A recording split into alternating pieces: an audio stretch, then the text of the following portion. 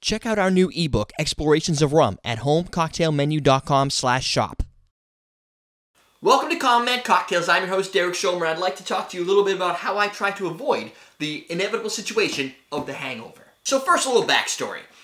Among my friends, and even those who've probably gone out drinking with me, Kyle, um, some of the fans from uh, that we met at in New Orleans at Tales of the Cocktail, is I'm fairly good at not getting drunk. It's a general rule. Uh, that doesn't mean I have not got tipsy or whatever, or lapses of judgment here and there, but there's a way I go about doing it.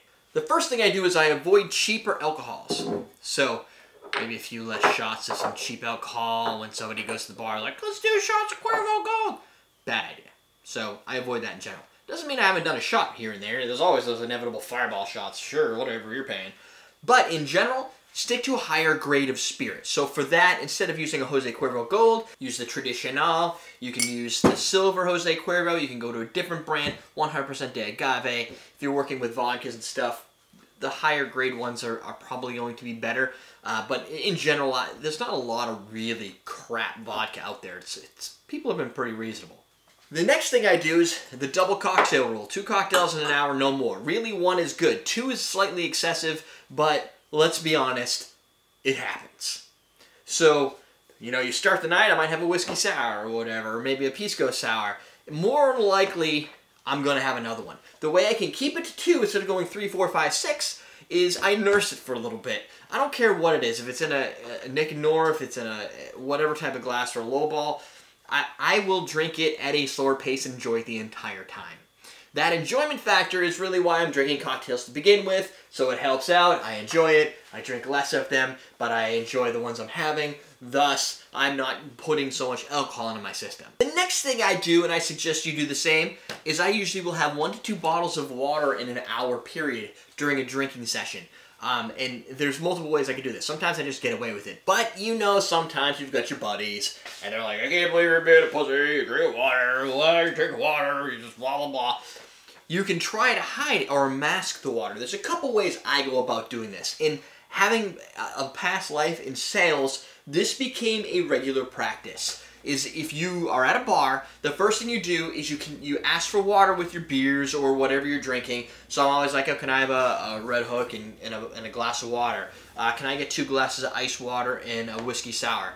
And while I'm at the bar, I'll consume those glasses of water fairly quickly. And then I'll go to the whiskey sour and I'll nurse that for a while. People are always wondering, how why you pee a lot when you're drinking? Like, I'm always in the bathroom going back and forth because I'm hydrating the crap out of myself. And you just don't know because you're so busy being blind, drinking your beers and talking about how you're getting drunk while I'm doing the smart thing. But I'm doing it in a subtle way. The other way I handle this is you can put it in a tiki glass. Is this a kind of a shill for drinks.com where you get the Mr. Fugu tiki mug? Of course it is. But at the same point, what this allows you to do is hide it so they can't tell what you're drinking. You throw some pineapple juice in there. What's the difference between pineapple juice and a tiki? You can't tell. It's kind of an orangey color, and you drink that. What you're really doing in that case is you're getting some water from the pineapple juice. You're getting no additional sugars added if it's like a dole or whatever, but you're still getting uh, some natural sugar. You're getting some vitamins, which are actually essential to avoiding the hangover, which is what a lot of these hangover remedies are full of, is vitamins and essential product nutrients, potassiums, and stuff that your body needs to avoid the hangover. So you can always take this route, but I suggest a little hybrid approach. Have a couple uh, glass of juice or whatever. But if you're at the bar, that's harder to do. So the easiest thing to do is ask the bartender for uh, tonic and lime, or seltzer water and lime. The bartender's not going to consider you a, a an idiot because you're trying to hydrate yourself. It's the bartender's job not to get somebody excessively drunk and cause an accident uh, murders, everything that can kind of go around uh, DW, uh, DUIs, things that are bad that can happen. Bartenders probably will give you no crap for drinking in moderation and, and having water and alcohol at the same time. Just leave them a good tip. They're not going to care. Lastly, something I started last year more than prior, but I, I, I, wish I was doing this earlier, is fitness. So summer's always a little bit more difficult with the kids at home and and the whole seasonality and, and taking vacation time and whatnot. Mondays is a leg workout. Tuesdays is cardio kickboxing. Wednesdays, chest workout. Thursdays, cardio kickboxing. Friday, take it off because I also film the show. Saturday morning, if I can get my ass out of bed, I do another kickboxing cardio thing. If not, I'll usually swim laps during the summer and, and, and to keep myself going. Usually 24 laps um, around the pool at my buddy Don's parents' house. Anything to kind of build muscle mass because if you've watched a past video, what you'll know is that lean muscle absorbs the alcohol where fat pushes it away and leaves it in your bloodstream and you, you get drunk and it's, you know how that all works. So some level of fitness is helpful in order to consume alcohol a little bit quicker without the same effect. Moderation is key. I like to nurse my drinks. I like to drink water in between. I usually end the night with at least 8 to 16 ounces of water.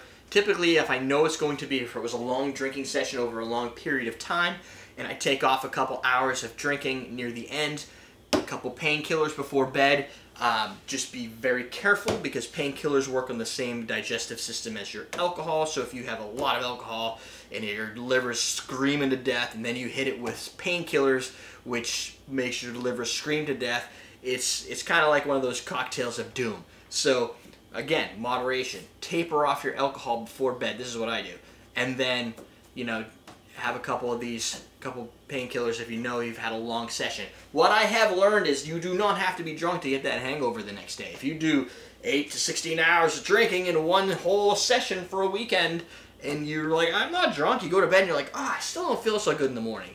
It's it's a long-term thing. So you, moderation in shorter periods of time is probably best. But that's how I usually go about not getting too too much destroyed without hangovers because there's a few things I don't like about hangovers. They suck. Uh, but uh, an excessive amount of alcohol makes me tired, and when I'm tired, I'm not really in the mood to party. So I, it's really all about balancing having fun with alcohol, and you don't necessarily need them. Mocktails, if you order those at the restaurants, uh, those work as well. Anything to, to kind of just give your body a break, relax, and digest what is currently consumed. That's that is my cocktail for a solution of not getting yourself drunk. That's why you'll never see an episode of Common Man Cocktails in which I am drunk because I don't really find it's very professional for what we do here and we try and ex really excel on taste profiles and flavors and the experience around the spirits, not really the end result of doing too much drinking. Does it happen? Not on the set, but yeah. Sometimes you drink a little too much doing some taste tests or you're doing long uh, reviews or something like that or whatnot. You've got to you've got to break yourself in between. That's it, my friends.